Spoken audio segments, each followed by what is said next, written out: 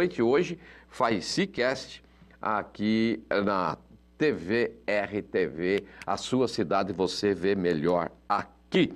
Tá certo? Bom, aí a dupla foi atacar e foi assaltar, aí exatamente foi do Jardim Morado do Sol.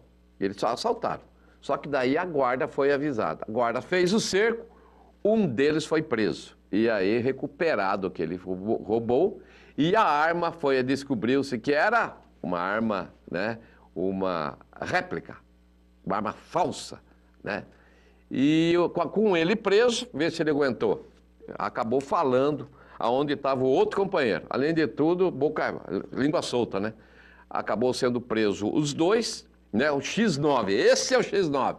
Aí tudo recuperado, dinheiro, celular, enfim, a arma que acabou sendo as viaturas que participaram do assalto, que participaram do assalto não, né? Da prisão desse assalto, e os dois acabaram sendo autuados em flagrante no primeiro distrito policial aqui de Indatuba. Movimento bastante grande, o roubo foi avisado.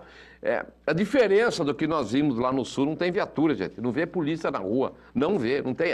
Eu nem sei se tem guarda civil lá, em, lá, em, lá em, no Rio Grande do Sul. Mas olha só, aqui nós temos, então nós temos que elogiar bastante. Então tá aí, é, primeiro distrito policial, as duas pessoas acabaram presas. Tá aí, parabéns. Bom, quinta-feira tem sorteio, hein, gente? Quinta-feira tem sorteio Coroação em Companhia. E hoje à tarde, no plantão com Rubinho Queiroz, equipe sorteio do Cato Supermercados, que está completando os 50 anos. Daqui a pouco, mais uma amostra daquilo que nós